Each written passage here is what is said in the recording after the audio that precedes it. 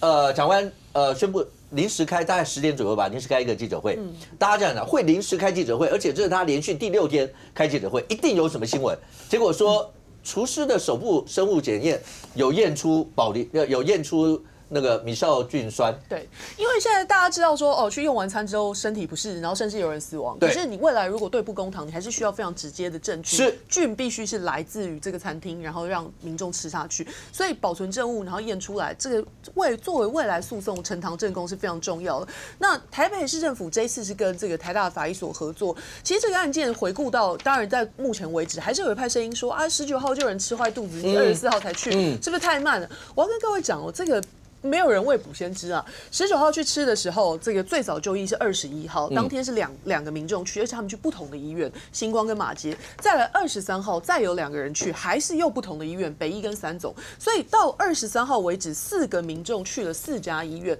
甚至你不要说台北市政府，基本上连医院都不会把它视为这四个人有马上的直接关联的关系。所以二十四号的时候有又有民众去，然后这一次才有重复的院所。同时当天很不幸有人因为这个案子过世，所以这个卫生局到宝林去的日子就是二十四号。那他送验查扣的东西，今天法医所有讲了，这位台北卫生局、台北市的卫生局刮下的简体，包括厨师的手、砧板、菜刀跟水果刀四个简体。可是这四个简体目前为止只有厨师的手验出，虽然答案不大家不知道为什么，嗯只有他的手。难道他不摸砧板、不摸菜刀，就是悬空，只有用手在料理？没有人知道为什么只有手验出来。但是这个手为什么重要？跟就是跟刚刚跟大家讲了，就是你接下来要对簿公堂，你必须要有一个证据。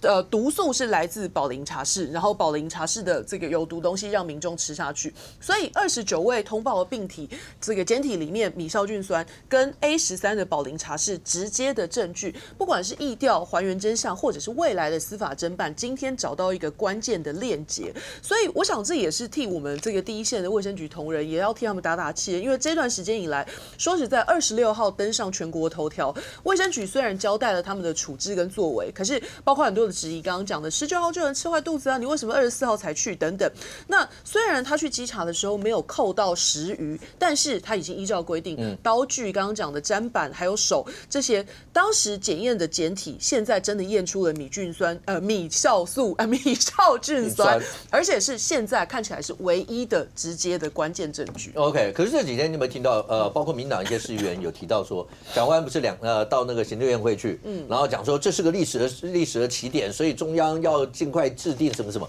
那他们说有甩锅的嫌疑，是不是？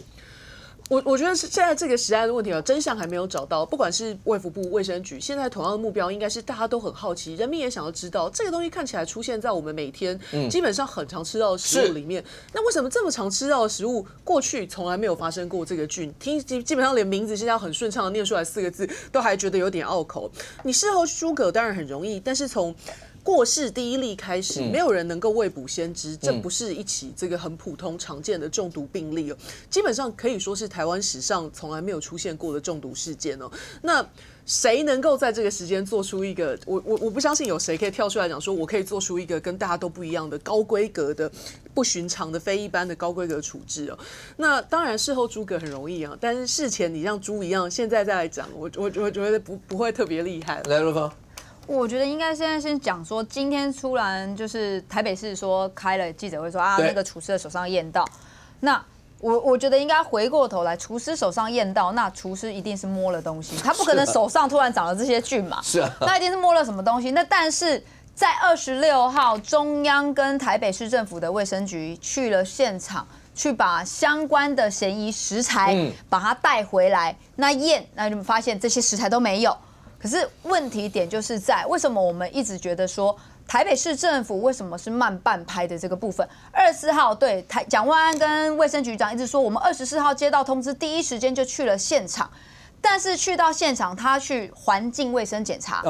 这个是在整个食物食品法规相关的条文里面，它是其中一环。好，但是里面还有一个点是，就是有说疑似食品中毒相关检体采样之分工原则，里面就是有讲食品检体挂号、食鱼、顿号、嫌疑食品等，以及环境检体，包含刀具啦、砧板啦、饮用水、洗涤等等，由卫生局就是在地的这个所属机关卫生局相关的科室来主主办。好，那你那时候二十四号去，我们大家的质疑就是你二十四号去，因为它是写集哦，食品的简体及环境环境的简体。你为什么只做了一样？嗯，如果你今天讲说啊，食鱼没有了，对，因为它已经是之前吃，已经都倒掉了，啊没有嘛。但是它还有一个嫌疑食品啊，它相关的这些食材一定都还有在现场啊，你为什么没有？好，那二十六号说你去检检查了，可是因为这家餐厅它在二十三号的时候有再进了一批新的相关的食材，就是要煮的材原物料。可是我们都知道，说一般大家这个餐厅在准备食物的时候，我都是看，哎，东西差不多要没了，我赶快先叫货，等到它这个东西用完了之后，它还可以衔接嘛，不能空窗期。所以他二十四号去的时候，也许还可以采集到当天可能二十三、二十四号吃的东西。但是你二十六号去的时候，他可能前面已经都吃完啦，我已经二十六号是新的一批了。他可能就是像现在可能就是检不出来这样的问题，所以我们现在在质疑的就是说，那你二十四号卫生局你为什么慢了一个半拍？你为什么没有在当下依照相关的法规，它是必须一定要把嫌疑的相关的食材把它带回来？那既然当然国民党今天有这个呃。像立委就就质疑，就说、啊、因为卫生局今天台北市卫生局就检验出啊手部有啊，对啊是中央不作为啊。不好意思哦，这个在整个规范当中，所有相关食品中毒的这个问题，它都有分工，都是以你中毒的相关的县市，如果那个餐厅是在那个县市，就由这个县市的主管相关机关来做主责，然后你要去检验相关的。如果说你的检验的东西遇到困难，或者你的实验室不够，得向中央来协助。那当然，二十四号收到了通知，然后二十四号台北市去环境采验。你说二十六号中央没有作为吗？中央就一起去把所有的三十五样全部带走，包含所有那台北市做了什么？台北市二十六号一起去，二十八号说哦，我们连调我们二十八号二调理包啦，这个调味料啦，大家会觉得这应该是二十四号要做的啦，所以应该说这样子的一个食品中毒，我们没有人想遇到，然后而且这是一个很特殊的一个案例。但是不要第一时间遇到了这样的事情的时候，你就先把它切割，好像台北市只是公亲族哈，